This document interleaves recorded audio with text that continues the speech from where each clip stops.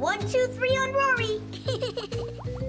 Why was an alligator hiding in my mailbox?